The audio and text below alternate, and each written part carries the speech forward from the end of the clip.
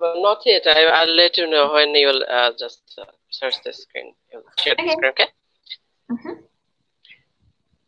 Hello, welcome you all. Uh, this is fifth webinar organized by Jamal Islam Astronomy Club of University of Science and Technology, and we're just live from the official Facebook of Jamal Islam Astronomy Club.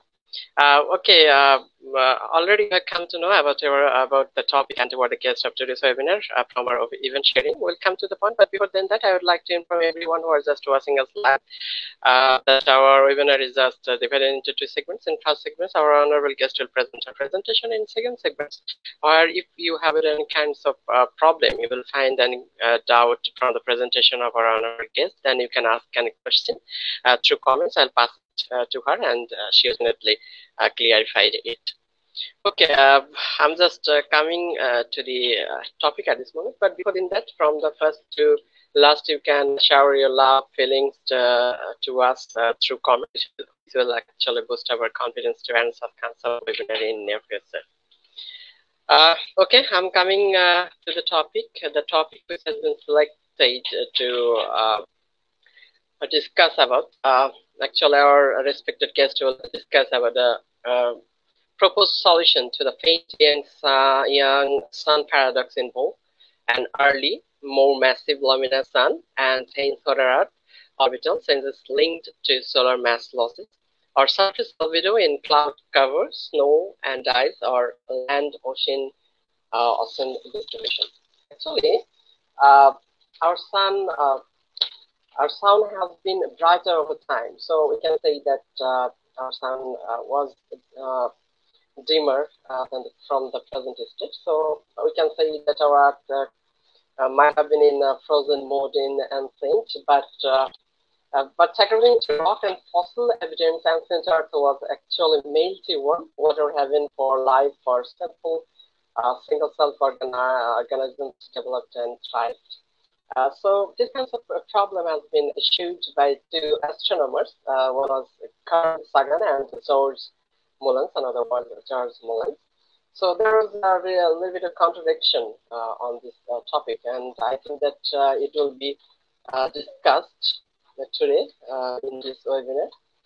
And to discuss about these things, I've got the very beautiful Mayssa Yazidi. Mayssa uh, she's just a planetary geologist, graduated in investment analysis and characterization of reservoirs at the Faculty of Tunis, University of Tunis, Al Manar Her master's thesis was about the geology of Mars. Uh, she had a fellowship at the Center for Studies and Activities for Space, the Colombo CISAS, mapping the Noctis uh, Labyrinthus Grabens on Mars. And uh, she received a field fellowship in space science, uh, technology, and measurement to the study of the surface of uh, geology of Mars and Mercury. Our interest focuses on the composition and the processes responsible of the modification on the planetary surface and anomalous uh, terrains. And Mayssa is uh, now the National Outreach Coordinator for Astronomy Outreach. Uh, so we're very, very much lucky to have her in, in the fifth webinar uh, organized by Jamal from Astronomy Club. So I'm Top Tumas. Uh, I'm welcoming Mayssa to our program and uh, over to you for next few minutes, Mayssa. Thank you so much, Ali Murtaza, for for um for the nice presentation, and I would like to thank you also for the invitation to give this talk today about uh, star evolution. So I'm gonna start sharing my screen.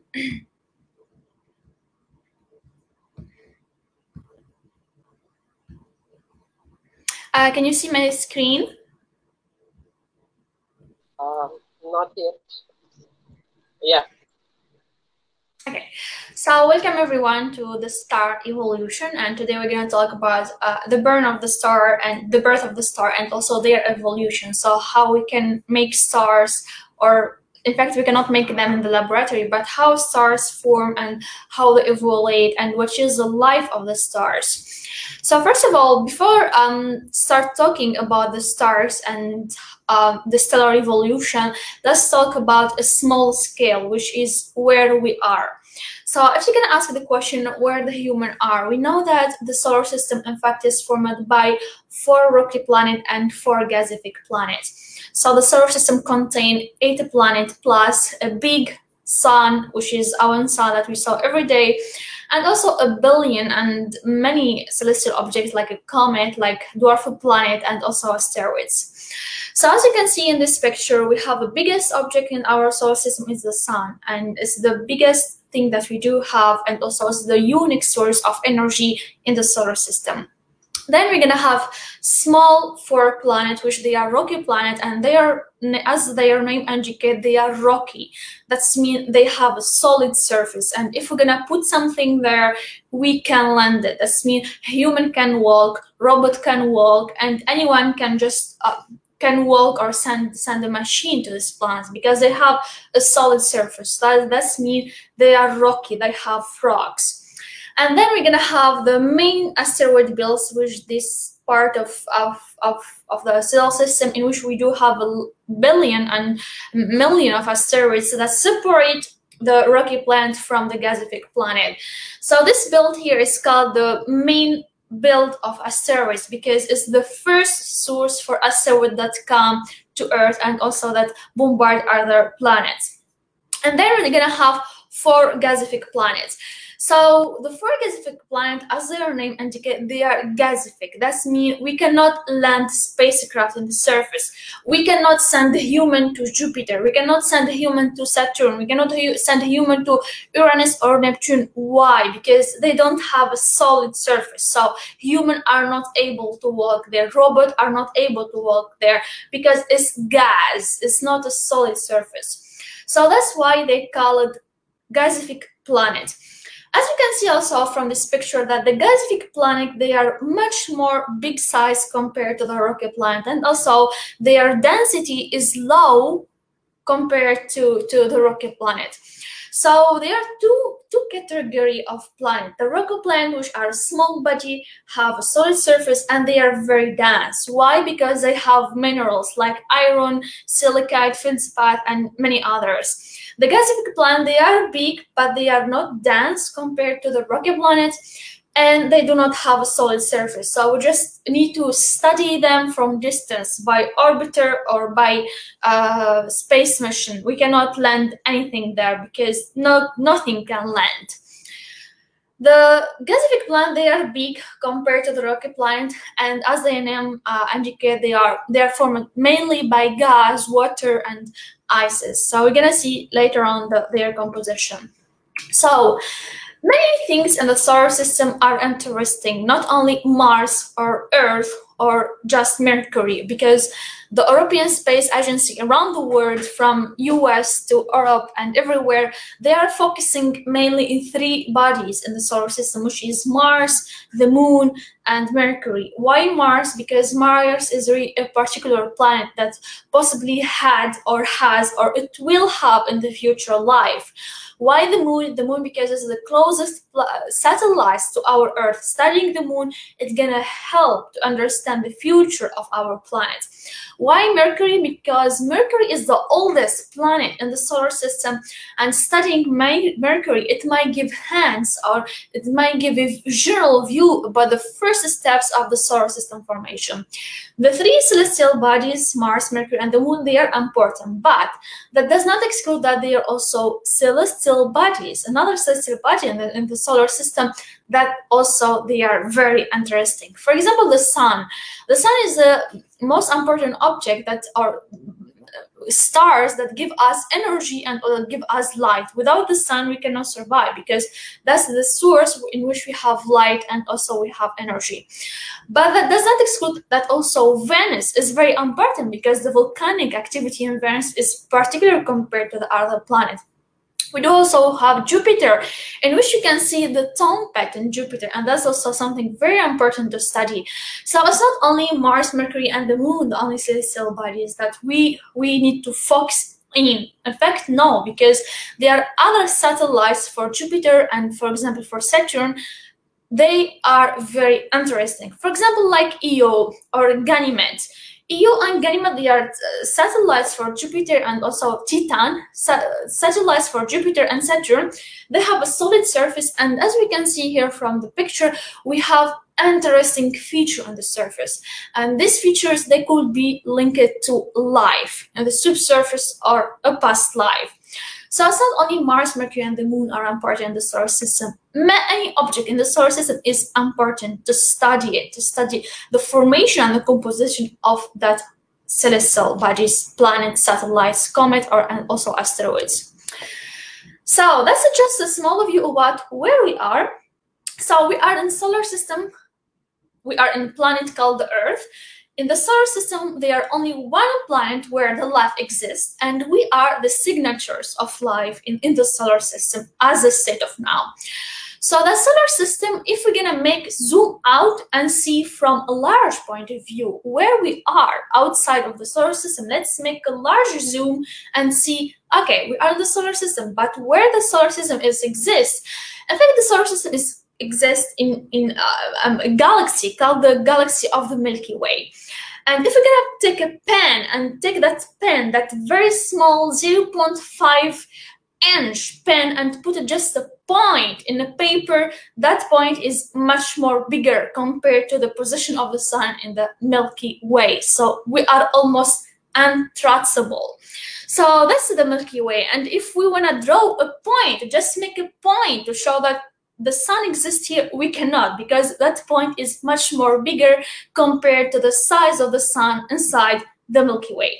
So that's our Milky Way, and the sun is just here. It's not closer to the center, and it's not far away uh, from the center. And this is the, it's one of the arms in, of the Milky Way because, as you can see here, our Milky Way is having like some arms here so the sun is here. We cannot really put a point but we can draw a line to to show that we are here in that in that position.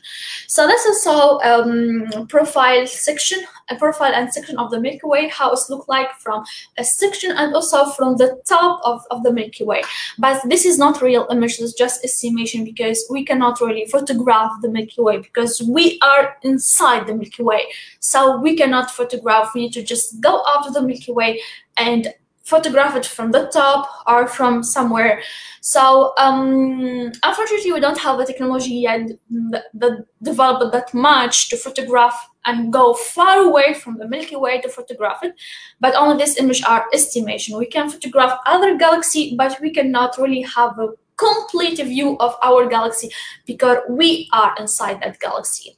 So that's just a approximative view of about how it looks like our galaxy and what we can see sometime at night, for example, in Chile or in um, South Africa or also in many countries in the world, Argentina. That's just a part. So for example, we can see sometime a part of the Milky Way or arm from the Milky Way, but that's just a small portion about how big, how large is the Milky Way.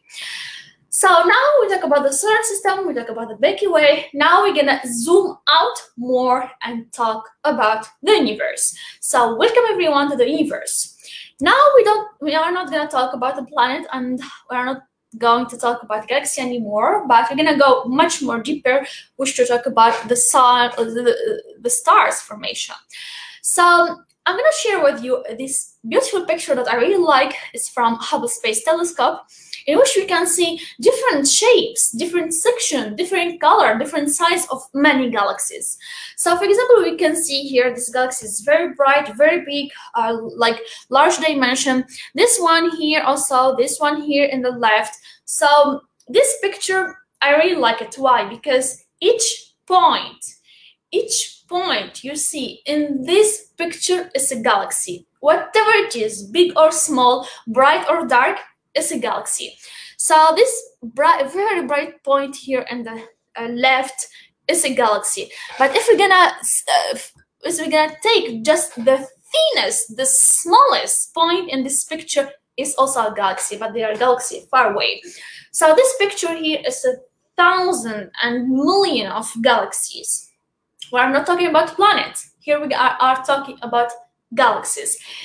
Each galaxy is a million of million of solar system. Each solar system, it contains many, many planets. So you can imagine how many planets is just in this picture. It's really so crazy because the our galaxy here we cannot even count. In our galaxy we cannot count how many solar systems we have because even the sun we cannot draw draw a point for the sun because the, that point is gonna be much more bigger. So imagine here each pixel from this image is a solar system. So you can imagine here this thousands of galaxies each galaxy is thousands of solar system each solar system is many planets. So we don't we cannot even put a number for how many planets or how many galaxies or how many lives we could have in this picture because we don't know so that's an image from um, Hubble Space Telescope. Just let's summarize about the universe. If we can ask the question, what is the universe? We don't have a specific like definition. The universe is plus one plus one, it's equal to two. No, the universe is part of the of the world of, of the space. It's a space-time, like um, Einstein and Newton working in that, those equations that we're gonna see later. So the universe is like this, this image here in the top right. We cannot have definition of the universe. The universe is something combined between time and time and space.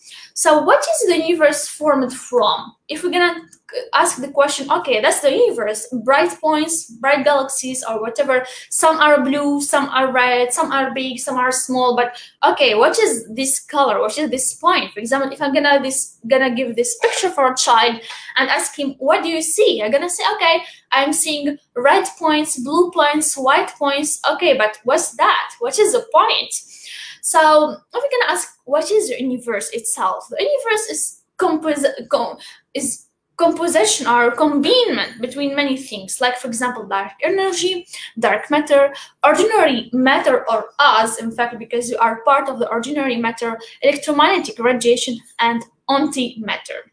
So all of that, the dark energy, dark matter, ordinary matter, electromagnetic radiation, and antimatter, all of that, if we're gonna summarize it or combine it or put it together at the same box, we're gonna have the universe. So if we're gonna ask what is the universe, the universe is combination between dark matter, dark energy, ordinary matter, electromagnetic radiation, and antimatter, and maybe something we don't know yet. So what is all of that? If we're gonna talk about um, let's go to galaxy. What is a galaxy? The galaxy is a, a part of galaxy, just a point of galaxy is many like million of solar system. What is the solar system? The solar system is formed by planet and stars. And if we're gonna talk about planet and star, that's mean we're gonna talk about life, possible life. So the universe, as we talked before, is formed by dark energy, dark matter, ordinary matter, electromagnetic radiation, and antimatter. So the question here, where we exist, where human does belong, do we belong to the dark matter, dark energy, ordinary matter, or where, where we belong exactly? So in fact, the universe, as we can see here in the image in the top, uh, uh in the left, sorry, the universe, 70% of it is formed by dark energy, something very massive, very powerful. We don't know a lot of, of information about it. Then we're gonna have 23% of dark matter. And then we're gonna have the ordinary matter. The ordinary matter, in fact, is the Earth, like any sign of life.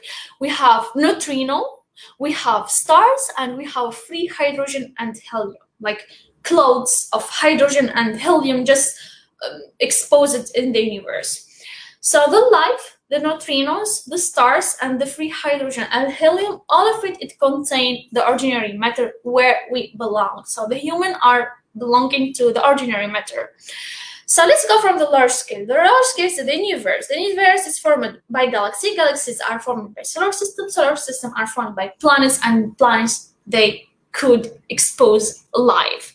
So that's why the study of the exoplanets and, and especially the exoplanet in the habitable zone is very important because we could have another planet like the Earth in which human or life could exist. Not necessarily human, but it could be uh, flora or fauna, like animals or microorganism or anything could support life existence. So let's go to the next slide. So this portion here is a nebula. So what we are seeing here is not only color and it's not fake image. That's also an image from Hubble Space Telescope. In which you can see like uh, the central part is red and around it is just blue and we can see like it's kind of clothes or something. But this is not artistic image because that's a nebula. That means that something we see but after the star explosion or something is combined and condensated together to create a star in the future. So if you're gonna take like small portion, like small thingy point, like for example here, we cannot see anything, but when we after zoom it in, we see that we do have here a star uh, trying to, to form. So it's really fascinating how, how it's work in the universe and how it's work with big uh, telescopes, space telescope, like Hubble Space Telescope. So some that's just to attract your attention that there are things we cannot see. They are not in the visible part. So for example, if I'm gonna look to this picture, I cannot see anything. But if I'm gonna zoom in and focus and like maybe look in another visible way or another like uh, infrared or ultraviolet uh, section, we can see that we can see things we cannot see by our eyes in the visible section. So we can see here that in our eyes we cannot see anything like we cannot see points or stars is forming, but in another section, um, spectrum section, we can see that we can they are also possibility of stars are forming or just we do have protostars and also protoplanetary disk. So we cannot talk about the star's formation and star birth without bringing up the nebular hypothesis, which is a very important hypothesis to study the solar system formation and evolution. So what is the nebular hypothesis? The nebular hypothesis is not it didn't uh, wasn't made by one person or two person together. No, it was working in separated way. Like Immanuel Kant and Laplace. One is philosopher, mathematician, and also astronomer, and the other one he was also the same, trying um, studying astronomy, studying astrophysics, and mathematics. So the both they don't know each other. They were just uh, working uh, separated, but their work just cross-cutted because they arrived together to the same hypothesis in which that stars formed after a, a, cloud of gas and hydrogen condensated together in the center. Then they're gonna create the this particle. They're gonna create the protostars, and from the protostars, we're gonna talk about protoplanetary disk. So that's what is called nebular hypothesis. That all the stars in the universe they are started from primary clouds of gas like hydrogen and, and helium. So that's the classic scenario of the stars formation. So let's see how how how this work, this hypothesis. So uh, Immanuel Kant, Laplace, so the both of them, they just put it some some steps about the stars, and they call it the nebula cloud, which is the primary cloud in which the stars just degenerate from that. But it's, it's a cycle. It's not only we have a cloud from point zero like 10 time zero and we have close and from that just the stars form now because it's closed circle like the stars form from close and then when they got old they explode they have another close and that close itself they're gonna generate another stars. So it's a closed circle of, of lives of, of the stars. So what is this nebular cloud? The primary nebula cloud. So the primary nebula cloud let's consider together that we have cloud in the air, like we have hydrogen and helium in a portion of the universe. That hydrogen and helium is a cloud of hydrogen and helium, like any like we can like, like for example like now in, in the universe we have many clouds we have detected many clouds of hydrogen and um, helium in the universe, like for example the nebula, like for example this picture here, we can see that's the clouds of hydrogen and helium that could generate star in the future or that's just the result of a star explosion. So we're gonna have a cloud like that hydrogen and helium. This cloud just it was located in somewhere somehow in the universe it was perturbated by massive object like something very massive, black hole, super big galaxy, or something which is very massive, or the stellar galaxy arm. Why in particular the stellar uh, galaxy arm? Because the stellar galaxy they have open arms. So this kind of galaxy, as you can see here in the top right, we the stellar galaxy they have open arms, so they can easily throw a, a object closer closer to, to the galaxy. So they can perturbate any galaxy just turning around or we're gonna have a shock waves that's come from stars explosion? If for example a star getting old and then gonna explode the explosion of that star is gonna create a shock wave and that shock wave is gonna go through space to arrive to certain clouds of hydrogen and helium which generate the condensation of that clouds so we're gonna have this clouds of hydrogen and helium.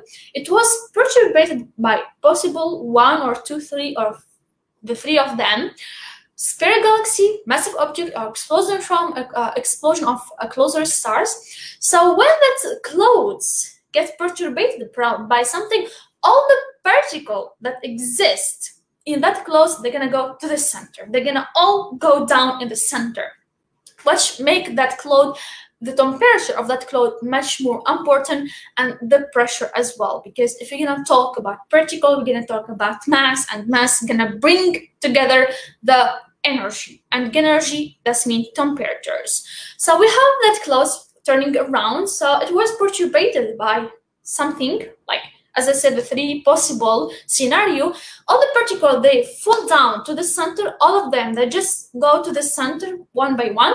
So the, the, the dimension of the clothes or the size of the clothes, it gets small because all the particles go to the center and that's what make the temperature much more important. For example, imagine we have elevator. The elevator, it contain, for example, maximum four people to, to go from the first floor to the second floor. So let's take the same elevator and we're gonna put 10 people instead or four because the maximum is four. And we're gonna go from the first floor to the second floor. So if you we, we're gonna take four, 10 people and put them in a box reserved for four people the temperature automatically gonna increase it's the same so the cloud it was big and then when all the particle went to the center, so the size of the cloud, it was decreased and then what's making the temperature get higher and then the pressure also get higher. When we're gonna talk about particles, that's mean they have mass. And if we're gonna talk about mass, that's mean anything in the universe according to the law of gravitation mass that's mean force and that's mean attraction if i have mass i'm gonna attract if I have mass, I'm gonna attract whatever the direction it is. So all the particle uh, condensate in the center or collapse it in the center, and they're gonna start attracting each other one by one, by one, one by one, until they form uh, uh, a much more bigger uh, pieces or much more bigger particles slowly. Because as I said, hydrogen and helium. They're gonna bring each other, this particle, they're gonna attract each other. And so then slowly, slowly, we're gonna see that from hydrogen, we get to helium and helium, and then, and then, and we'll arrive to carbon and much more complex, complex element. And from that, much more bigger particle and particle gonna bring particle. And then we are not gonna talk about atoms anymore. We're gonna talk about small bodies, rocky small bodies, which they're gonna attract each other slowly, and then we're gonna have a sun, protostar. In fact, we do not have directly the sun, and then the protodisk, and then we're gonna have slowly, slowly after million of years, the the the sun and also the planets. But all this area, now it couldn't happen like that. Like, okay, the cloth just was collapsed the particle went to the center they get attracted to each other and i'm done. No because they are certain condition we cannot pass because they are physical parameter. To collapse the clothes and to let the particle go to the center and attract each other we have a very important condition which is the kinetic energy should be less than the potential energy. As we can see here in the left, the kinetic energy expressed in constant of Boltzmann in the temperatures, the mass of the clothes, and also the mass of hydrogen atom. That's the kinetic energy because it's temperature, it's energy. And then the potential energy is expressed by the gravitational constant of um, of uh, the concept of universal gravitation and then it's expressed inversely to the radius of the clothes because the radius is gonna change. It's gonna have normal size and then gonna decrease slowly slowly slowly and then that's make the temperature getting uh, higher. So that's the condition. If we have the kinetic energy less than potential energy then we can start talking about collapse of the particle. They're gonna go to, to the center. They're gonna just collapse all together in the center. So here we are talking about the radius of the clothes and also we are talking about the mass because we have particle, particle have mass and they are getting conglomerating together like attraction into each other to form much more particle with much more big size. So then we have mass. So there are two magic parameter in this phenomena, which are very, or, or with this scenario, which are very important, is the mass and the radius. And in this stage, we're gonna start talking about the Jeans instability. What is the Jeans instability? The Jeans instability is the certain limit as well for the mass and for the radius, for the size and the, for the weight of the clothes. So if the radius of the cloth, the initial radius of the cloth is less than the radius of a gene because gene, the radius of a gene is the minimum that we can get. So if the radius of a gene or the radius of the clothes is less than the radius of a gene and if the mass of a gene uh, the mass of the clothes is less than the mass of a gene. So in this case, we cannot speak about planets. We cannot speak about um, rocky and gasific plant. We're gonna speak about dwarf or um, we're gonna speak about just um, we cannot speak about the solar system because uh, below this mass we cannot speak about uh, about complete solar system because why? Because the mass and the register that we're gonna have is not able to to form a complete solar system and to come form complete sun. So for example in this scenario if we're gonna have if, we're gonna follow the image in the top right so we have clouds. Let's suppose these clouds here in the image one that the radius and the mass of this clouds is less than less than the mass and the radius of the gene. So what are you gonna have we are not gonna have a sun. And we are not gonna have a solar system. Because if we're gonna talk about the sun that means the sun gonna have also planets turning uh, or coming just afterward.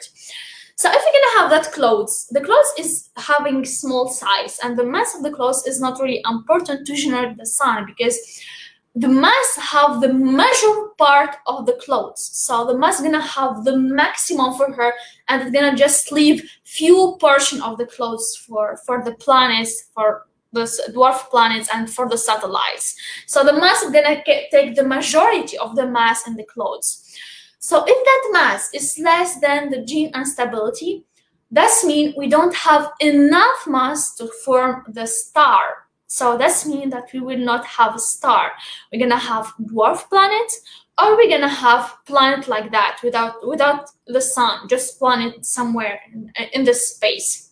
So in this case, we are not gonna have solar system like stars, and because the mass that we do have is less than we need to form the sun.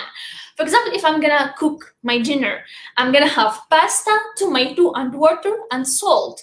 If I don't have water, salt, and tomato, I'm not able to do anything because I don't have the pasta, water, I don't have the water and the salt to cook the pasta, and I cannot do anything. So that's exactly the same example. If I don't have enough mass, enough dimension, space, radius, and enough weight, so I'm not able to, to make the sun. So what I'm gonna have in case of uh, clothes with mass and radius under the mass and radius of G, we are not gonna talk about the sun. We're gonna have dwarf planets somewhere, and we're gonna have um, just normal normal planet, and their size gonna be closer to the size of the planet Jupiter. Like they are big, not heavy, not dense, have big size, but they are mostly gasific because in that time we gonna have we will not have minerals. We will not have iron. We have just clouds of hydrogen and helium collapsed together. So we didn't form yet or we didn't achieve the temperature that led us for minerals iron and much more complex uh, element. So on that stage we are not gonna talk about uh, um, about star. We're gonna talk about planet and particularly gasific planet because they didn't achieve certain temperature to form uh, complex minerals. So on that time we're gonna have gasific planet and with the size closer to, to the size of Jupiter. So in this condition here, we have the clouds, it was perturbed by something, explosion, a bra of uh, elliptic galaxy or a massive object. To have that collapse, the mass of the clouds, as I said, is a very important parameter, should be much more bigger than the mass of G. And as I mentioned before, gravitational contraction or gravitational collapse, that's mean energy and energy, that's mean temperatures. And if we're gonna have the temperature like getting closer, closer, closer to the center and particles are compressed closer to each other and collapse to the center. That's mean the temperature gonna increase. And if the temperature increase, then we're gonna talk about the fission, the fission of hydrogen into helium and helium enter the next one, deuterium, carbon, and then from complex, from simple element to complex element. And then the universe start the first step to to to the formation of um, or the clouds start the first step the formation of the sun and also the planets. So the magic part here in fact is the fusion of hydrogen and to and to helium because if we're gonna achieve certain temperature it should be very much too much higher. So then we're gonna start convert the hydrogen into helium and then from helium to another complex element. And that's a magic step or a stamp for the formation or for the future formation of the protoplanetary disk and the protostars. So we're talking about clouds, about collapse, about gravitation, and about all these parameter, the parameter of Jane, and also the, how the kinetic energy should be uh, less than the potential energy, and uh, how this parameter play an important role in the formation of the stars and the solar system. But we cannot skip to talk about the Newton's law of universal gravitation. As I mentioned before, anything have mass, have force if I have mass, I'm gonna have force because I'm gonna be able to attract someone. So that's exactly what had happened. Any atom in the universe have a small, even if it's very teeny, very small, it have it still have a mass, and anything have mass have force, have gravitation. So that's what Newton say. So Newton say, I think in the universe, if we have, we're gonna have two body. For example, in this picture here, I put a big blue body, M1, M1, and the small green body is M2. M1 and M2, they have two masses, respectively M1 and M2, which is two body. The distance that they separate the two body is air. Is air here is the distance that separate the two celestial bodies. So what Newton say? Newton say the force existed by the body two in the body one is equal to the force existed by body one in body two. So the force existed by the two curves is equal, even if they do have different mass the force is equal. What does that mean?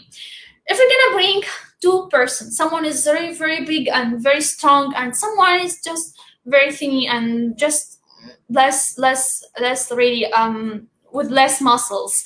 So what's what which one gonna gonna win? In fact, it's not about muscles or it's not about who is the most strongest the two person they're gonna have equal force. Whatever because it's not about like attracting each other. No here we're gonna talk about gravitation. Like um this two person for example. The force existed by the big person in the small one is gonna be equal to the force existed by the small one and the big one because otherwise they're gonna be attracted to each other like that, but they are staying in place. For example, we have two person here, no one is attracted to anyone or the other one attracted. They are just staying in place because they are they are not magnets that does that mean what what what explain that that they are not magnet so that's mean the force existed by this person is equal to the force existed by this person and what's that's what explained that the two person are in place. They are not attracting each other like a magnet. So that's the gravitational force. The gravitational force is uh, proportional to the mass of the object and inversely proportional to the distance that separate both of them. So this, for example, uh, the Newton's law of gravitational. So um, another, this uh, Newton's law of gravitational uh, really important, important parameter to, to talk about the stars and to talk about the universe formation because it's one of the basic things to know about. Another important thing, which is uh, the angular momentum, and that's also is very critical. So uh, the angular momentum is how how we are gonna explain is is something is a parameter very important in physics and also very important in astronomy because why because it explains many things. The angular momentum is expressed in mass, velocity, and radius. So what does that mean? That does that mean, for example, if the mass of person increase, the angular momentum is gonna increase, as well as the velocity and the radius. So how we can apply the angular momentum in the first steps of the star formation? The question is, is simple. As we said before, we do have a cloud of hydrogen and helium. And that cloud was just turning around without any problem until it get to the point where it was perturbed by something like star explosion, a bra of a galaxy, or a massive object. So that perturbation of the clouds, it make what it make it make the collapse of the particle all of them to the center and what it means that collapse of the particle to the center or all the particles they just went to the center that doesn't what what and what explain that is we're gonna have less radius that means the radius of the clothes is gonna decrease. So what we are changing here? We have clothes get perturbed. All the particles they just went out to the center, well, out to the center, to the center, they collapse together. So instead having a large clothes, we're gonna have much more small size clothes because all the particles they're gonna go to the center. And by that, what we're gonna have? We are in fact changing the radius by collapsing the particles to the center, we are changing the radius because the size of the clothes is gonna decrease compared to, to the first one. So that's the angular momentum. The angular momentum is expressed in mass, it's expressed in velocity, and expressed in radius. And how that decrease of the size of the clouds gonna affect the velocity. I'm gonna explain you. Let's have the example of modeling scattering and angular momentum. If you're gonna have a scattering there, you know everyone wanna scat and just we, we really when we were children we really enjoying scatting. And just we feel like we are free. So i'm gonna give example to just let you know what is the angular momentum. So let's go have the example of scatter. If the scatter she gonna turn around herself and she gonna open her arm like that and she gonna turn around. So what she will do? She gonna turn fast but not very fast. Why? Because her arm are open.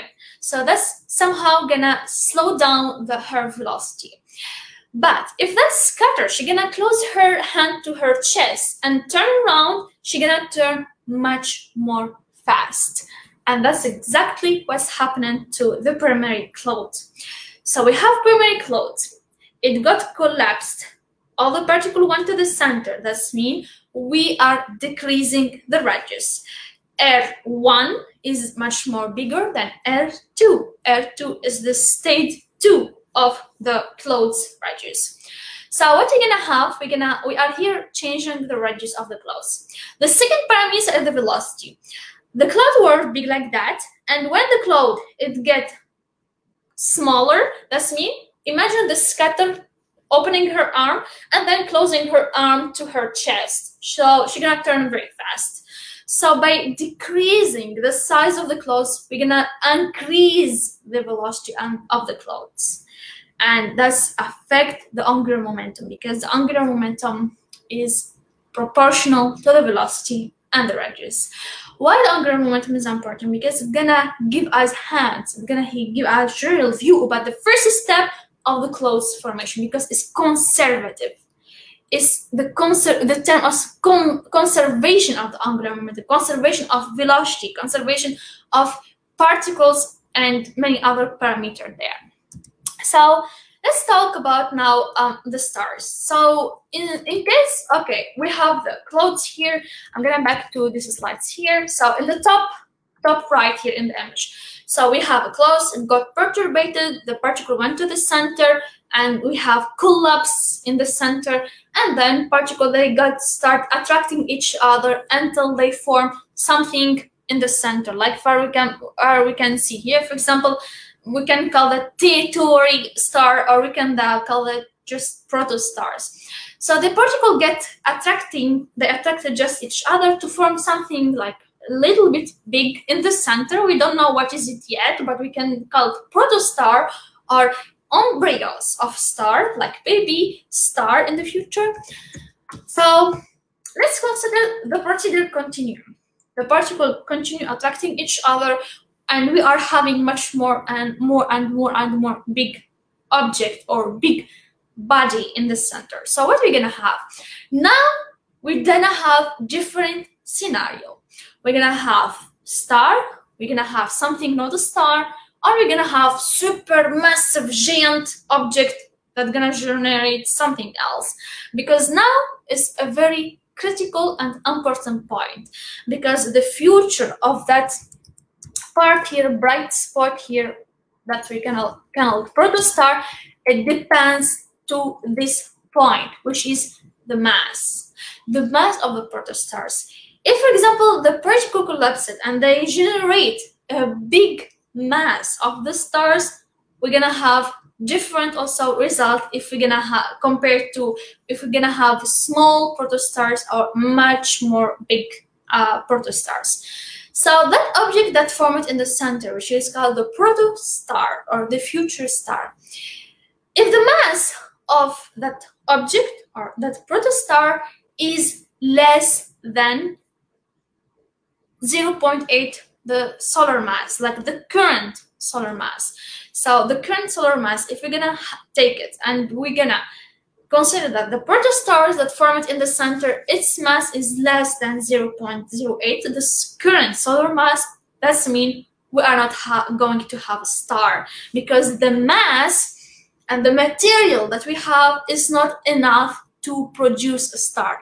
We do have protostar, but that protostar, it will never be a star. So what we're gonna do? If that mass of the protostar in the center is less than 0.08, 0, 0.08 the solar mass, then we are not having star. We're gonna have a dwarf, a brown dwarf. That's mean uh, it's not planet, it's not stars. Something have the size closer to the size of Jupiter and um, doesn't have a solid surface because it's not planet and it's not stars, so we call them dwarf, brown dwarf. The brown dwarf, they are gasific objects. They are formed by mostly by gas, and they don't have like solid surface. And they were supposed to be stars if their mass was much more big. But unfortunately, they just go to the next step but they stop it there. They stop it off the stage of brown dwarf because they don't have enough mass to, to be a star. So now let's talk about a solar mass higher than 0.08 the solar mass. So in this state, we're gonna, the, the contraction generate the warming of the center because we have mass, we have enough material to start the contraction. To start the contraction, that's mean we're gonna start heating we're gonna start the energy because energy that's mean temperature and by heating the material we're gonna have complex element coming one by one so in this part, we're gonna um, start the nuclear fission from hydrogen and helium, and the star start its life because we're gonna have enough material and we're gonna have enough contraction. The, the contraction gonna help in heating, and the heating itself is gonna support the fission of hydrogen and helium, and which generate afterward the combination uh, or the convert of hydrogen into helium, and then much more complex element. And yup, the star is start its life without any problem. So to form a star, we have, we should have protostar with mass much more big than 0.08 solar mass, the current solar mass. So if we're gonna see a protostar and if we want to know if it's gonna be generate a star in the future, we're gonna have the solar mass multiplied by 0.08 and if that mass is higher than that, so then we're gonna have um we're gonna say, okay, that star, uh, that protostar gonna be a star, and it could generate planets and could generate solar system. So if that mass, the limit is 0.08 solar mass. So if that limit is less than the minimum that we can talk about to have star, then we are not gonna have star. We're gonna have just a brown dwarf uh, in the space, have the size of Jupiter, and um, they are gasific. They are not rocky planets we cannot call them planet, but they are not rocky and they are gasific and they unfortunately their mass doesn't allow them to to um, to have to continue their uh, life and be a star. So that's the second. That's the two possibility. The mass is less than 0.08 solar mass, and we do have mass enough equal to or much more uh, big than 0.08. But the question here, what about if we have big protostars, giant protostars? They're gonna have big explosion and a lot of material condensed at the center and a lot of particle formed and the protostars is so giant. So in that case, we're gonna have something very different in which we're gonna see it in the next slides. So if we're gonna talk about big protostars or big size or much more material composite in the center. So in that case, the size of the protostar is very big compared to the size that we need to talk about stars. And in this case, we're gonna, for example, if we're gonna consider here the middle, the middle uh, scenario here, we're gonna have star, and our star is gonna be a uh, giant in the future in the future because the sun when it was born it was blue and then orange and then um, dark orange and then gonna be red. So our sun afterward gonna be orange and then much more orange dark orange and then gonna end by red sun and then gonna explode and generate another solar systems or just um, generate a white dwarf. So instead, in, in, the case where we're gonna have a big protostar, so what, what kind of troubles we're gonna have? In fact, it's not troubles, but we're gonna have a lot of mass. So that mass, what gonna generate, gonna generate super giant sun, and then that super giant sun, because it's gonna start like super sun, like big sun, then super giants like have much more large size and also much more radiation much more uh, energy much more temperature because it's going to be super giant much particle much heating much temperature so that all controlled by the mass. Then when the star it arrived to the last part we're going to have two possibility. Neutrino stars which is very massive object in astronomy or we're gonna have black hole because the mass is so much big. So when the star is gonna explode, you're gonna create a black hole afterward, or, or gonna make neutron stars, which are massive object in the universe. So that's the possibility that um, the supergiant usually made. So that uh, picture here, I really like it because it really summarizes all, you know, because if we're gonna talk about the stars, we cannot skip two important parameters, time and mass. Because the life of the stars it depends to the mass. The mass is gonna determine the future of any stars. our stars it have middle or mm, mm, acceptable or just middle mass and middle uh, um, size. So we're gonna be fine until until um until the end, and then we're gonna depends all to to the mass and also to to the time. So if we're gonna have a small protostar, let's just start here from the left to the top, and we're gonna increase slowly, slowly. If we're gonna have a small protostar, small protostar that's mean less than 0.08 solar mass. The mass is not enough to talk about the star, so we're gonna have dwarf, brown dwarf, and then the brown dwarf is gonna um, end by a brown dwarf. It will not change because, as I said, they have the size of Jupiter. They are gasific. They're not planet. They're not stars. They're called brown dwarf. So then we're gonna have, if we're gonna have protostars with respectable mass, but it's still less than 0.08. So in that case, we're gonna have red dwarf. I'm not gonna talk about a brown here, the next step is the red dwarf. And the red dwarf, they're gonna afterward generate the red dwarf, they they are not gonna evaluate another stage, and then they could create the white dwarf. When they get exposed and they just arrive to the end, they can expose and generate white dwarf.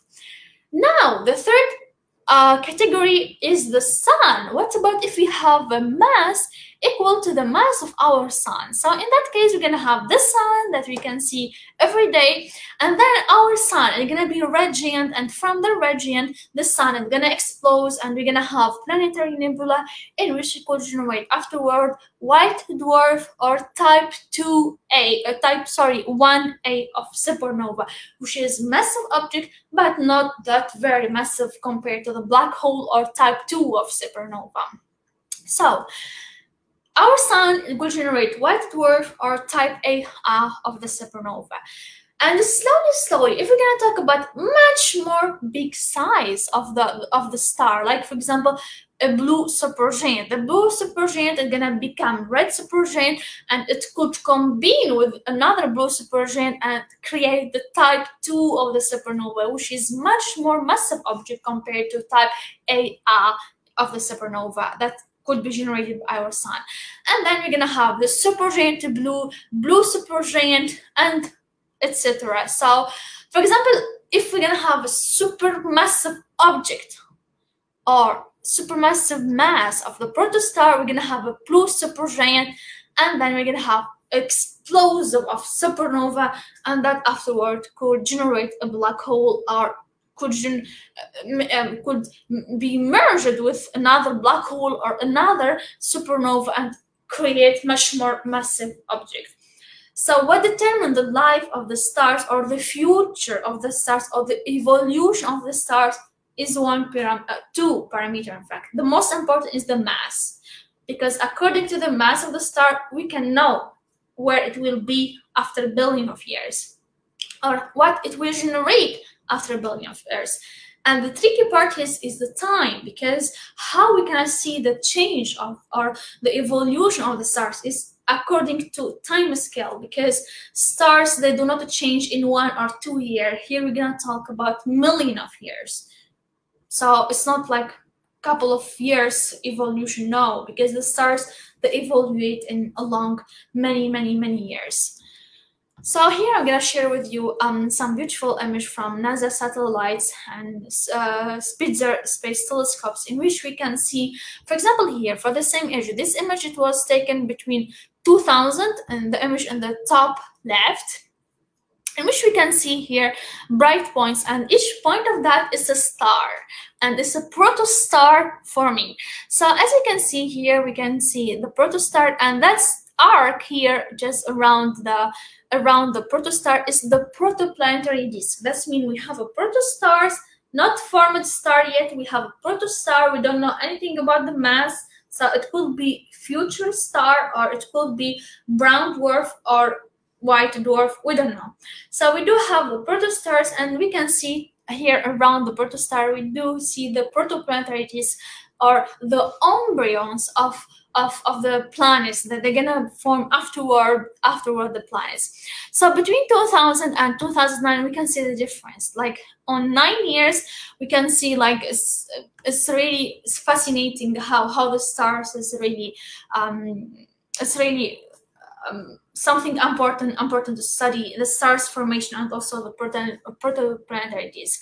But as I said, the stars evolution and formation is not really something we, we just can see in a couple of years. So here is another image from also uh, Spitzer Spitzer Space Telescopes in which we can see here uh, stars and also the protoplanetary disk. So here we, uh, for example, in the image was taken in 2004, we can see that they are reach like a small bright tiny point in the center but after only four years in 2008 we can see the protostars in the center and the protoplanetary disk turning around and that was really fascinating because it's only in four years why? Because um, the protostars is just trying to, to form and the protoplanetary is just trying to to turn is turning around and they just particle attack each others that's for the protostars and the planetary disk. But for example for the stars in case the star is formed we cannot see the star difference in four years that's because it's protoplanetary disk and protostars which is something we can see in four five ten years. But if we cannot talk about the star like for example this one this scenario, they couldn't happen in 10 years. This scenario, they couldn't happen in 6, 10, or 100 years. They couldn't because the life is a star, it takes million of years. So that scenario couldn't happen in four or five years.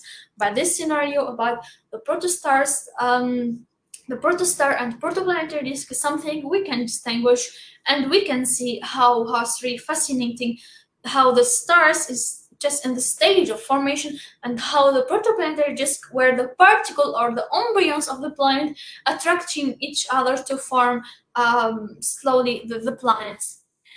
This is another picture was taken by the Hubble Space Telescope in which we can see here the dark point or the dark spot here in the center is the protostars and the bright point here is the protoplanetary disk also here we're gonna uh, see uh, they are like a white very white circle and gray um, gray ray here a ring turning around the protostars which is the protoplanetary disk and this was formed inside the nebula uh, inside the NGC 1976 which is Messier uh, 42 and also we can see here as well the protostar in the center and the protoplanetary disk turning around.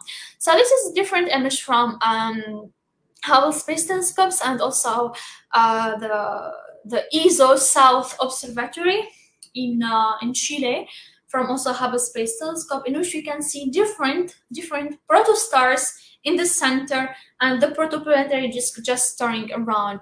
And it's really fascinating because seeing images like that and studying the protostars and also studying the protoplanetary disk, it reflects how our sun is formed and how it will be the future of, of our sun. And all of that is they are um, all real image. It's not um, it's not really um, just investigation.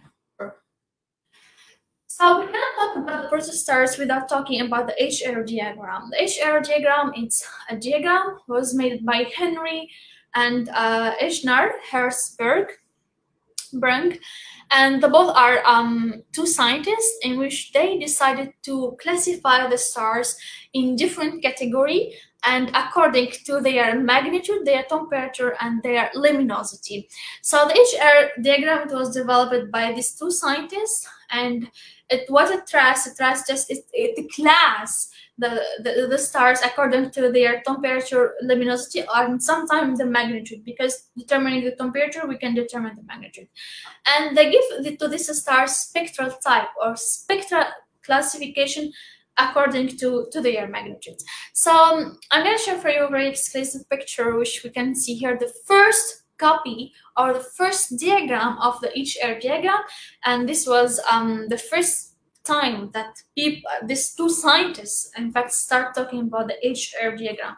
So this was the first copy, and as a scientific paper was published in um, the Nature Journal in 1914, they, where the, these two scientists, Henry and Hertzsprung, uh, they start talking about the HR diagram in the um, 19 in 1019. What is HR diagram? HR diagram is a diagram to classify stars according to temperature, luminosity, and magnitude. So we can determine the age of the stars and the evolutionary stage of the stars. So what we're gonna do, we're gonna study the luminosity, the temperature of the stars, and we're gonna class them in, in different category.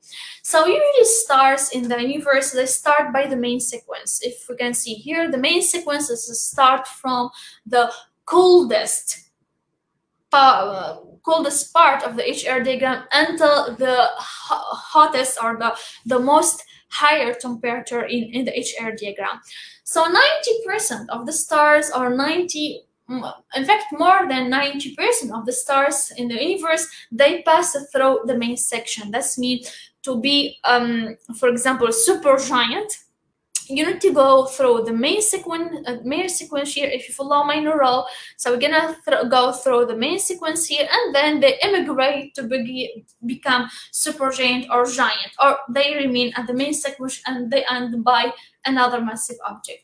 So the most of the stars in the HR diagram, they pass through the main sequence, and then according to their mass, according to their temperature, and according to their size, they could emigrate to supergiant or giant, or just they remain at the main sequence and they end their life as a white dwarf or supernova. So, as you can see, to explain that better, that the blue part in the HR diagram is the most hot and most luminous stars because we sometimes have idea that okay red is that's mean that the red is the most uh, energetic or the most hot part of, of, of the HR diagram. In fact, is now, and I'm gonna explain for you why. Let's take a candle. If we're gonna have a candle and the fire inside the candle, if you put your finger in the top of the candle where they are the fire, you're gonna be burned, but not that much. If you put your finger inside or in the center of the fire, you're gonna be hurt. That's exactly the same because if you're gonna see the candle, you're gonna have white, blue, and then the orange, and then the red part in, in the top of the fire. So that's exactly the, uh, the example of just focus in, in, turn a candle on and focus in the color degradation.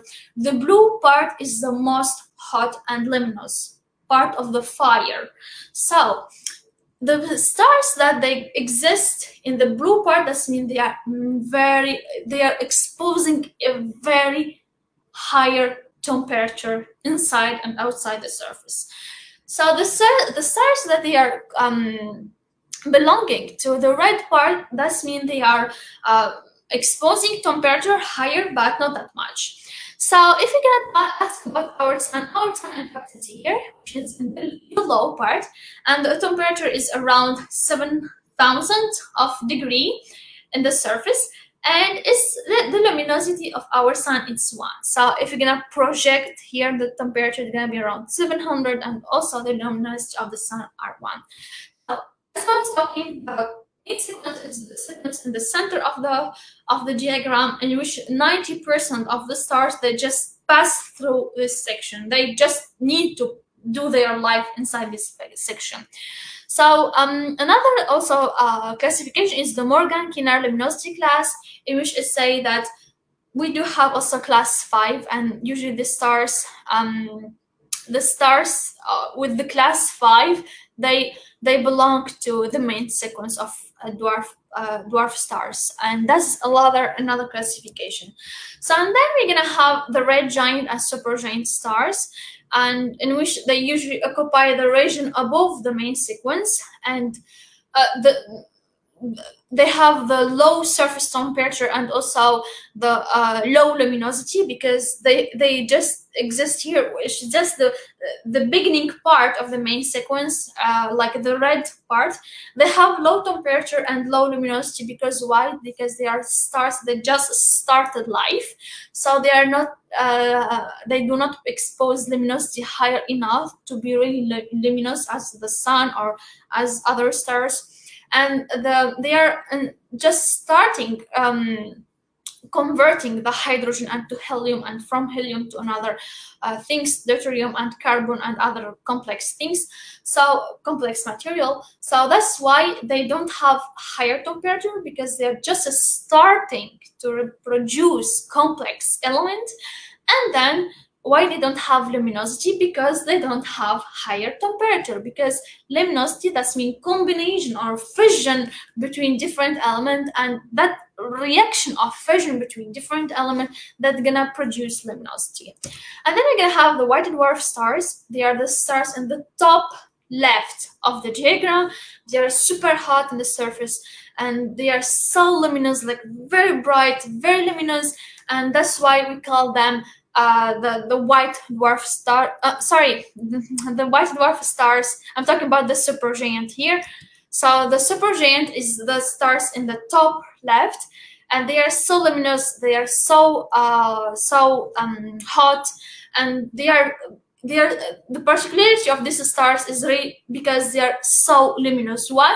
Because they are stars old, like they passed many million of years, and they were able to reproduce many complex elements and they are able to convert the hydrogen into many other elements. So that's help to make the temperature increase and by increasing the temperature we are increasing the luminosity. And increasing the luminosity that means the stars is gonna be so bright. And that's why it make their color blue because blue that's mean that's a stars is really very hot like the temperature of the surface is really very higher. So that's the stars they usually um, leave uh, like they arrive to that level of luminosity that level of temperature after million of years after they already passed many years converting hydrogen to complex element converting hydrogen to complex element until they arrive to a complex uh, element and that's mean fusion fusion that's mean energy energy that's mean temperature and the temperature affect directly the luminosity of the stars. So let's go back to the white dwarf the white dwarf they are um, protostars they as i mentioned before they don't have enough mass to be star so that's why they are called white dwarf. They have mass less than the mass required to start talking about star. So this um, white dwarf they have um, considerable temperatures, uh, have considerable temperatures, and um, they are not really very, very luminous, like they do not expose a higher luminosity in the surface. And they are like Jupiter, just imagine Jupiter, and because Jupiter is blind, but this is not a planet. The white dwarfs, they are not blind, they are not the stars. They have dimension closer to the dimension of Jupiter, but they are not really uh, hot enough to convert the hydrogen and they that's mean that they don't have enough temperature to reproduce much more complex element and that affect the luminosity. So that's why they are not luminous. So usually they are not and that's why we call them uh, brown brown or white dwarfs. So they are not really very very luminous. So why we're studying the HR diagram and what makes the HR diagram is, is really important.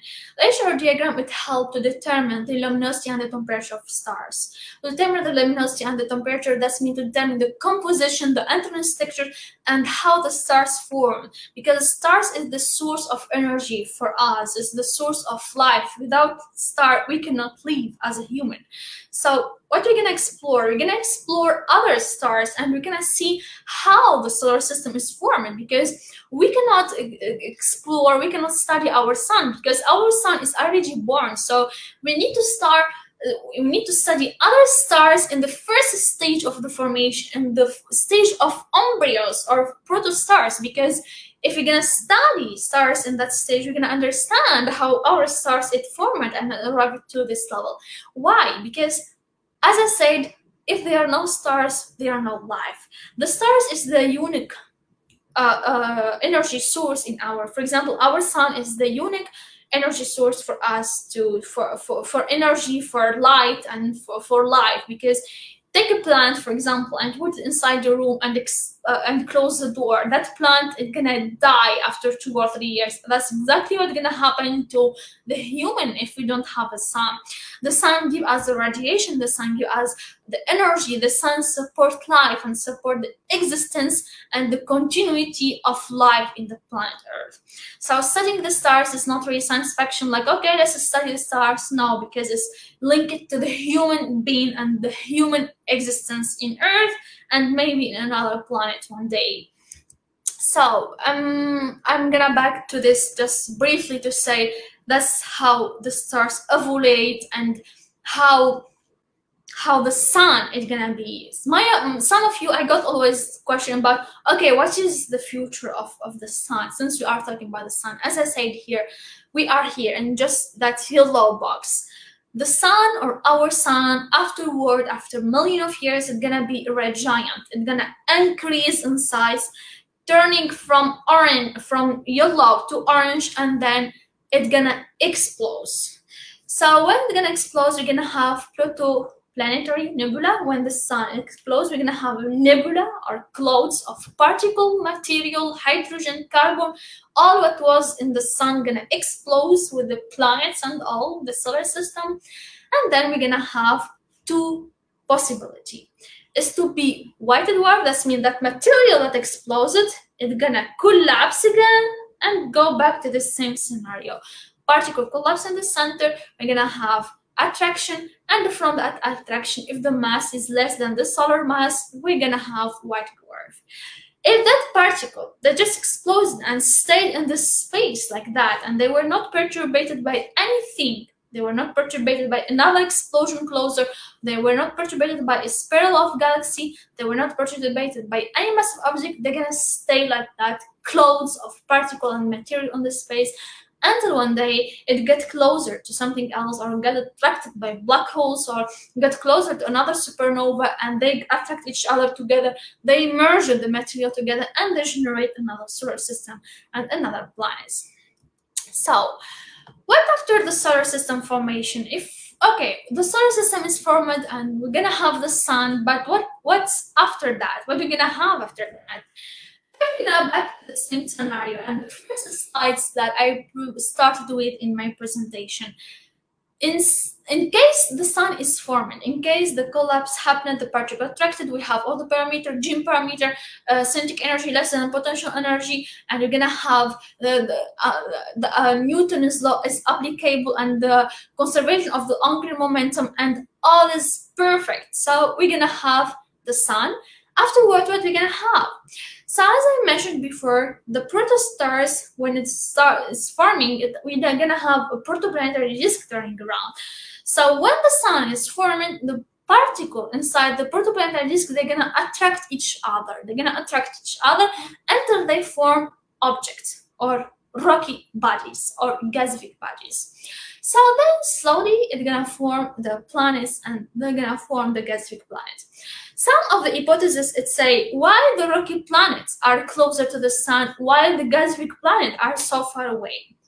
The other hypotheses say that the sun, when it started its life and the mass of the sun it was uh, as the mass of the sun required, so the mass was okay to start talking about the sun. When the sun started its life, the sun activity, like the waves and the, the hot waves of the temperature, it ejects the gasific and the helium and the hydrogen far away from the sun because it was wave, like the, the, the sun was waving far away this gasific particle to go far away and the object or the particle that they were consolidated and they were formed by minerals and by iron they got stayed uh, uh, they stayed closer to the sun because they were not evaporated by the sun activity. But that's just hypothesis, it's still not confirmed yet. What they say, why this separation between the rocky planet and the gasific planet? This separation probably is explained by the solar activity. Like the sun, when it started in activity, it was waving with with like um, with the hot like waves, and that make the rocky planet stay closer to the sun because they were formed by iron and consolidated material and the most of the hydrogen and helium uh, material that was formed they just went far away from the sun. And that's what what made the separation between the rocky and, and the gasific planets so after the sun is formed the protos uh, the protostars uh, at, continue attract or the planetesimal attract each other slowly by the gravitational force because as I said they're gonna have mass. Mass that's mean gravitation. So they were uh, uh, attracting each other to form slowly the planets and also the satellites. So to summarize we have close. It was perturbed by something massive explosion galaxy and um, we have massive object, get close and just perturbated that close. Particle was collapsed in the center. Then we're gonna have heating, we're gonna have increase in the temperature and the pressure, and then we're gonna have particle attracting each other. We're gonna talk about protostars and stop. Let's stop in the protostars. Then we're gonna have important condition. If the protostar's mass is more than 0.08, then we're gonna talk about star. If it's less than 0.08, we are not we are not going to have star. So if the star have a mass equal or much more greater than 0.08, then we're gonna have star, and the star is gonna slowly help and supporting the life and also the planetesimal or the embryos or the protoplanetary continue forming slowly the stars until we arrive to the final stage when we're gonna have the sun in the center and the planets turning around. And what's after that? What's after that, as I said, the sun gonna get to red giant getting much and bigger, much more, much more, much more and bigger until uh, it include all the planet inside. And then it can explode, and then again we're gonna have supernova, and then from the supernova we're gonna have white dwarf, and we're gonna have a close, and we go back to the same scenario. We're gonna we're gonna go back to the clothes again. So, and that's how the complicated mineral formed, how, for example, from a simple element, we're gonna go to complicated element and in which we can here see here, for example, to form minerals, to form feldspar, to form olivine, and also to form plagioclase, which are minerals that require a higher temperature. So that's why how how how people explain that but i said it's still only hypothesis how this rocky planet stay closer to the sun while the gasific planet are far away because that rocky planet have minerals that they could survive in hot temperature. Like for example we can see here the metite or the spinel or the geoposite for, for, for example the plagioclase they are mineral they could survive higher temperature like 500 degree kelvin plus 2000 273 Celsius. Uh, so that's three, 700, like around 730 or 40 something around degrees Celsius, that's really a lot. So um, that's kind of mineral they could survive in hot temperature, and that's why probably they get closer, they stayed closer to the sun, while the gasific planet, they just went far away. And in the end, I would like to share with you uh, some images of other galaxies. So since we are in the Milky Way, so we are able to photograph other galaxies, but we unfortunately are not able to photograph our galaxy. So I'm gonna share with you some of my picture. I took them in the Astronomical Observatory of Mariazell with my friend Gunta. So I took that with um, the biggest telescope I used in my life, which is 64 uh, centimeter telescope in the Astronomical Observatory of Mariazell. So that's a picture of uh, some galaxy that I photographed. This is M53. And then we're gonna have NGC. Um, this one is very my favorite uh, galaxy. And when we're gonna have M41, and that's different view from the same galaxy. And each point of that is fountain and fountain and fountain of of stars and of planets. That's a very difficult galaxy to photograph. It's the galaxy AT2 and it was really hard to photograph it because the, even the shape of the galaxy is really uh, it's, it's really hard to photograph and it was it's, it's, I was really lucky to, to get a picture of this galaxy and that's the astronomical observatory where I was working inside the telescope here, and it was an astronomical observatory of Mariazell. And that's my friend Gunda. During that night, we were working together to photograph some images and taking some images for for the astronomical observatory. And, um, here's some reference for what use for, for these lectures. And I would like to thank you for your attention, and I hope my presentation was not very complicated. It's for over one hour and 30 minutes, so I hope it was clear. And I will welcome now all your questions.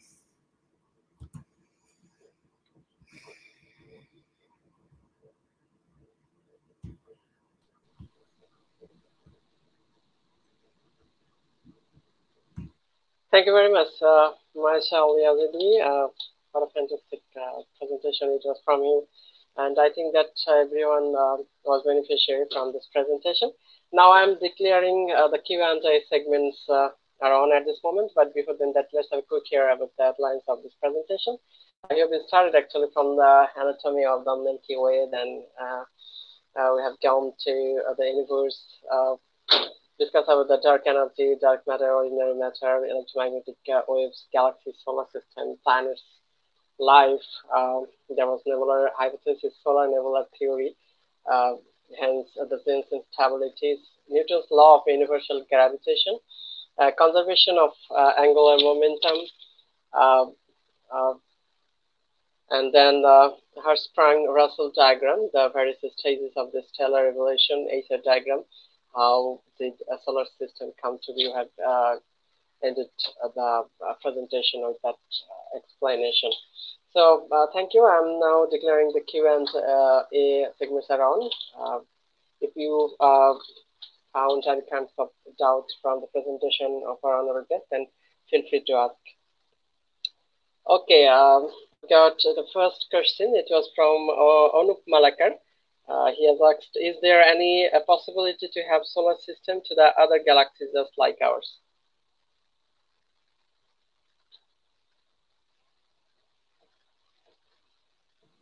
Yeah, in fact, there are possibility because, as I said, we do have habitable zone. What is the habitable zone?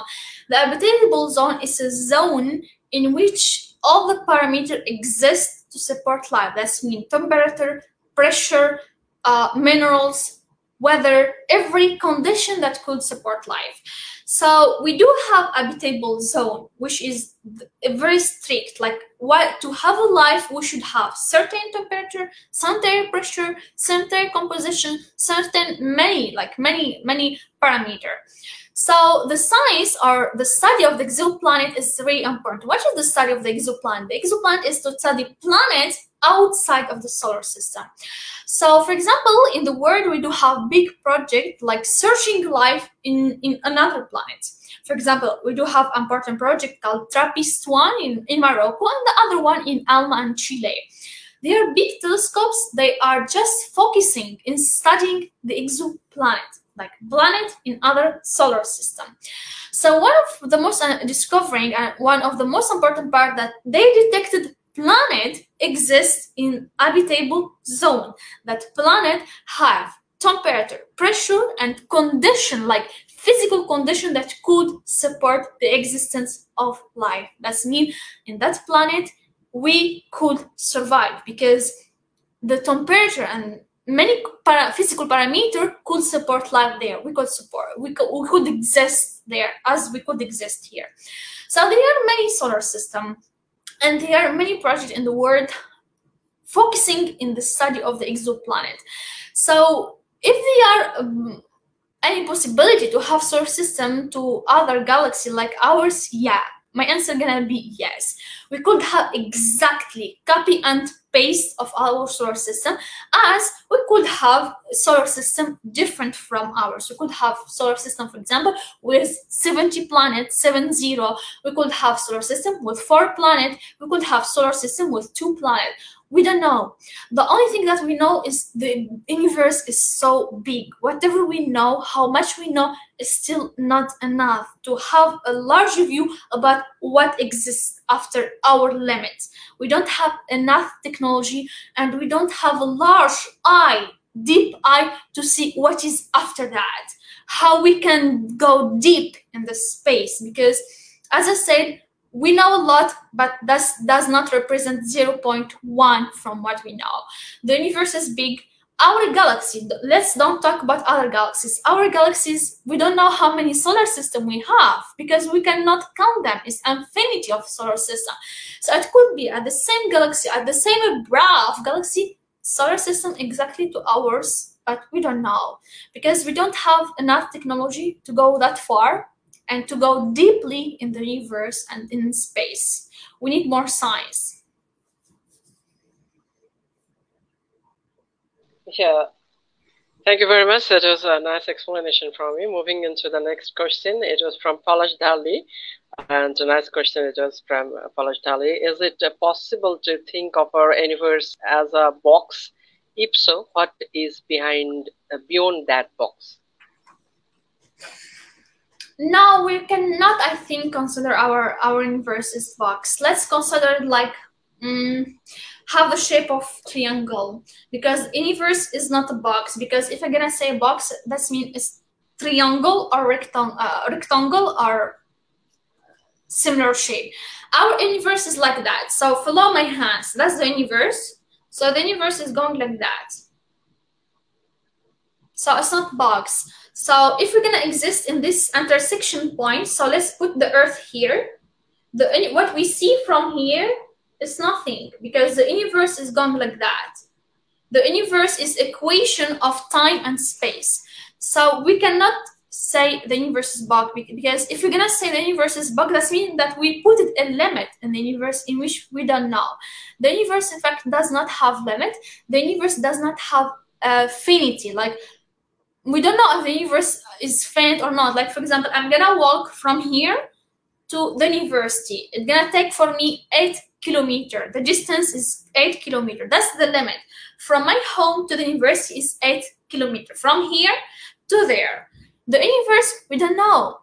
We don't know anything about the universe. The only thing that we know that the universe is a space-time equation. It's like that and this is getting much more and much more and large. So it's start from certain point, which is we explained by the Big Bang theory, and then it's increasing. You know, this is bra and this is bra, so they're gonna increase like that. So it's growing in time and space. That's the universe. The universe is equation of time, space growing together because we uh, we're gonna increase in space because we're gonna getting much more large, large, large, and we're gonna have time because space lets mean time. And that's the equation of Einstein and Newton about the space-time scale. So that's exactly what how we can consider the universe. We cannot say box because we're gonna have if we're gonna say box, that's mean we are in certain limit. We put it a limit for for that box or for that universe in which we don't. We don't have any limit for the universe we cannot see where the universe ends. We cannot see, okay, the universe is gonna end there because we don't know. The only thing what we know and this was calculated and measured by the Doppler effect, which is Doppler effect and also Hubble uh, Hubble studies and Hubble observation, in which we can see that galaxies are just getting far away from each other. Like galaxies, for example, this is two galaxies, and uh, for the 10 years like that and after 10 years they are getting far away from each other. That means that the universe is extending the, the universe is larging the universe is extending and going far away to infinity.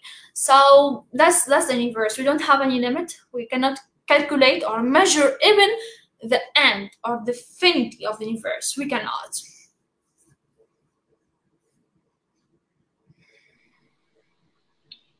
Uh, thank you. Excellent explanation. And the uh, next question is from Hassan Sharia Fine. how we got the idea of dark matter and what is the difference between dark matter and energy. Yeah, in fact, the dark matter and the dark energy is one of the most like critical and also hardest part to explain. The dark matter and dark energy they are two two different things. The only thing that I would like to say, um, they are two objects, very massive. They they uh, compose the most of the universe. One is 72 and the other one is almost 26 or 23. So uh, we cannot see dark energy. We cannot uh, see dark matter. We calculated them. We measured that, okay, here's dark energy, here's the dark matter. We don't have picture for the dark energy. We don't have picture for the dark matter because uh, they are just detected theoretically. We never observed them. But what we know about, like, they consider the most of the universe. They are something we don't have a lot of information about. Like, mm, we don't know a lot about dark energy and dark universe. And that's make them really mysterious. So, what is there and what we can have there? So, yeah, the dark energy and the dark matter, they are two things really separated because um, dark matter is is something and the dark energy is something energetic massive but we, we did we don't know what is it honestly but we can detect it like something massive there something have like mm, material exists we don't know anything about it. So the both are uh, theoretically calculated but but we never we never observe them. So it's really one of the the most uh, mysterious thing in in the universe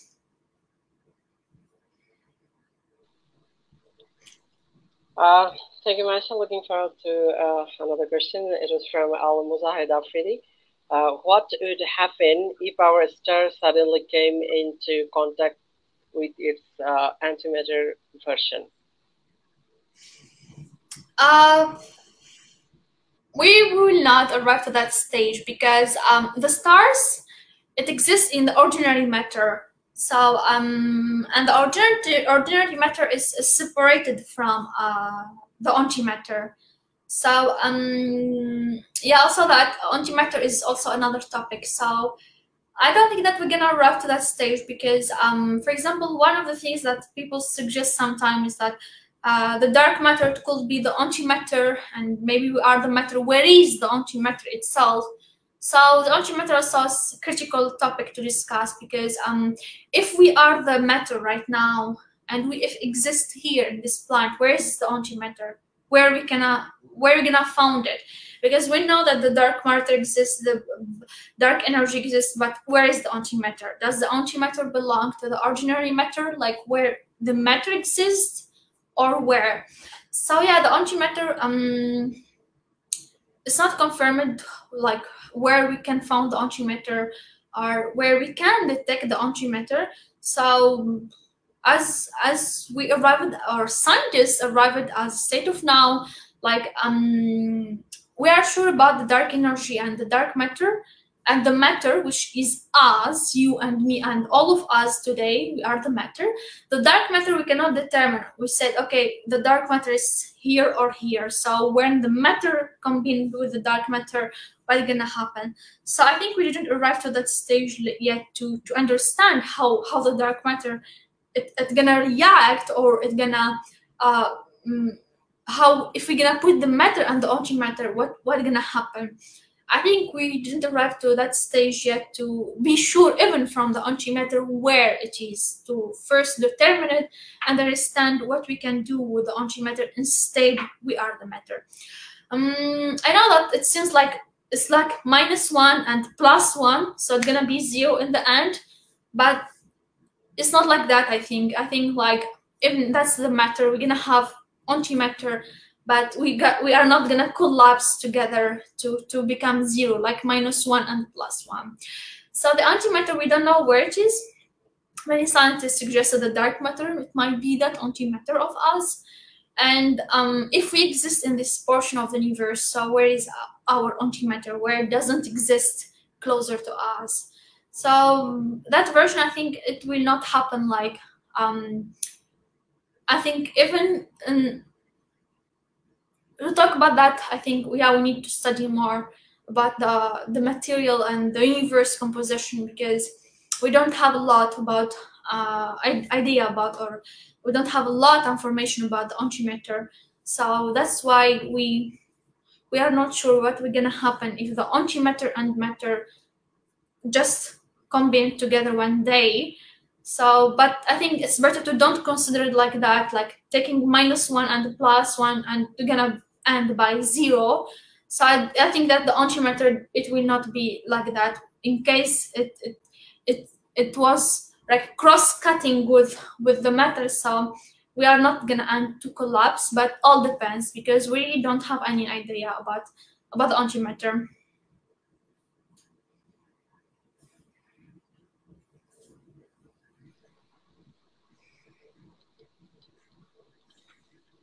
um, thank you Umansha. another question from uh, same person al Muzahid Afridi wouldn't the spectrum of an antistar be uh, indistinguishable from a regular star? Uh, antistar, what does that mean, the antistar? Like the star and the antistar, like the matter and antimatter? Something like that. Uh, it's not, uh, yeah, your question is not. Talk about yeah, because if you're gonna talk about the antimatter, um, even the antimatter itself, we don't know any idea about it. So it's gonna end up to the same question like we don't know if the antimatter exists and if it exists where. So if we're gonna talk about star and anti-star, so we um yeah i'm not sure that we're gonna able to uh, determine the spectrum of on, on star. Like we cannot determine, the spectrum of something visible. Even if it's not the visible spectrum we can determine in the infrared or ultraviolet. Even something as i mentioned in in my slides they are things you cannot see with your eyes. So it's better to have an image in the visible light another image in the infrared and another image in the ultraviolet because they are things your eyes cannot see it. So to even detect something we cannot see, we should it should be detectable at least in different uh, in different uh, uh, spectra or in different section. Like if it's not in the visible, in ultraviolet, it's not in ultraviolet, in the infrared. So it should be visible somewhere or much more energetic spectrum, like X and vice versa. So they are uh, higher, higher like spectrum in which you can see uh, objects from much more massive to the less massive object. So I think, um, yeah, if the only stars exist, they should be detectable in somehow in any spectrum, visible, ultraviolet, uh, infrared, or any other massive and uh, like higher spectrum section.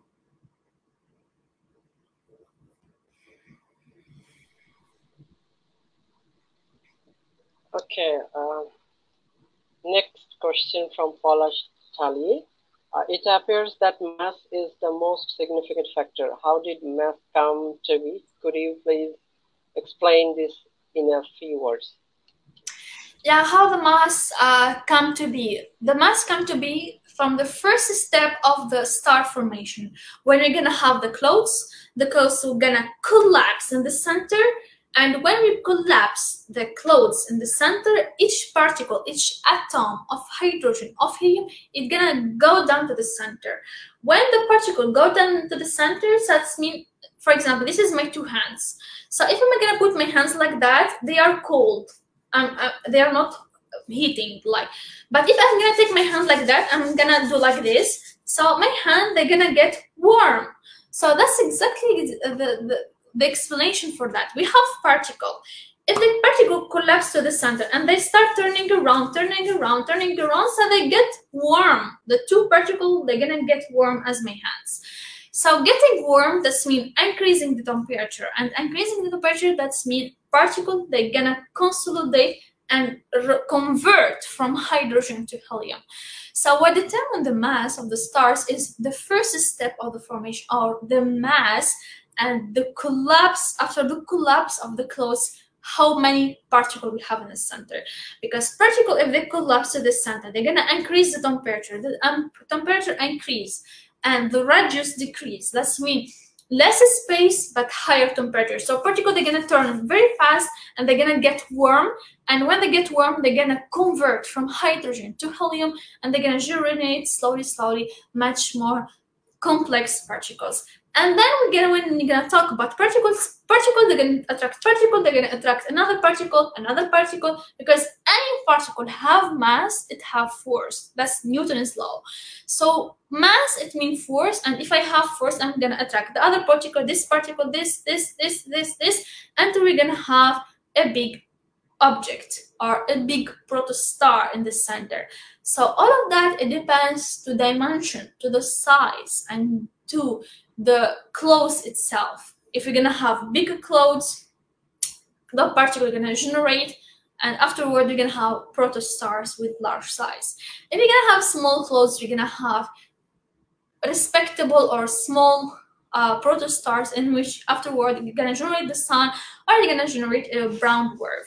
So what determines the solar mass is the first step of the protostars formation, how many particles we have on the clouds, and that depends to the large and the size and the dimension of the uh, of the clouds itself. If we're gonna like talk about a billion of kilometer of or uh, trillion of kilometer of uh, of clothes dimension or just we're going to talk about small clothes of particle that collapsed in the center so all depends to the first step to the protostars formation and also to the mm, different parameter of, of the clouds like the mass of a Jeans and the radius of a Jeans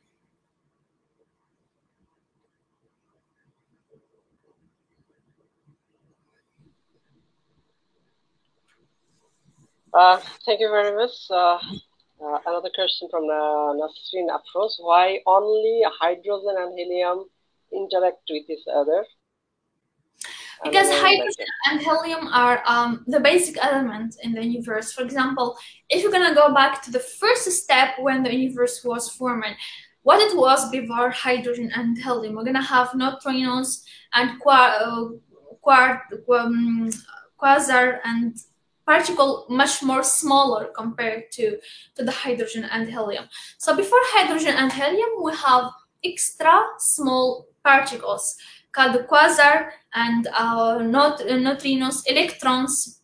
For example, the, what we study in physics, like electron, proton, neutrino, that's what gonna make afterward the hydrogen and the helium because that's a small size composition like electron, proton, together they're gonna combine they're gonna merge to generate electron and electron with electron they're gonna achieve certain temperature to generate hydrogen and then we're gonna start about the fusion of hydrogen and to helium so the first thing that bring the universe are or the first I don't know uh, if we study physics, we have that table, periodic table of the different element that we have in the universe.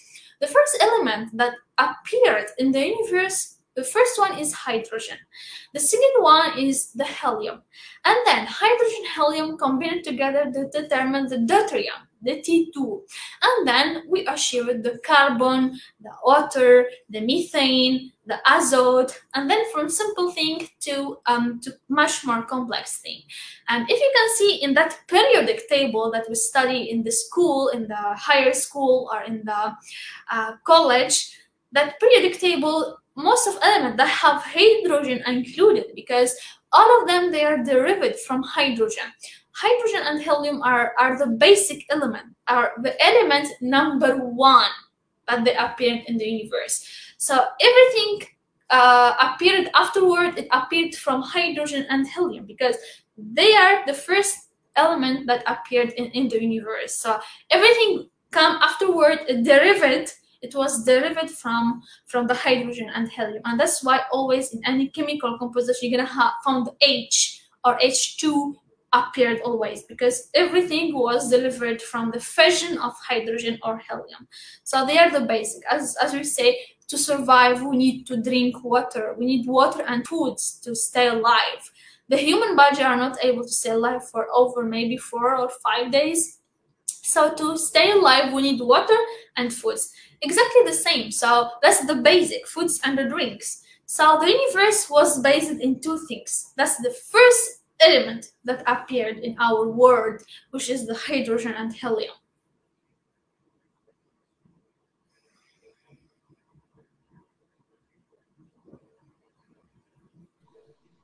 Okay, uh, thank you very much. There are a few more questions, but we won't take this uh, anymore. Uh, so we're just above the completion of our program. It was a nice uh, presentation. Thank you very much, Mayssa. Just uh, before completion of our program, just few words from you. No, I would like to thank you for, for the invitation today, and I hope my presentation was really understandable and clear. Thank you, Mujahid, and thank you for uh, your astronomical association, the Just Association, and I hope to see you the next time. Thank you. Uh, thank you. I hope uh, you will be with us with the new webinar, and uh, see you once again with the, a new webinar, with new guest and a new topic. Uh, till then, it's goodbye from here, and keep learning astronomy. Thank you. Thank you. Bye bye.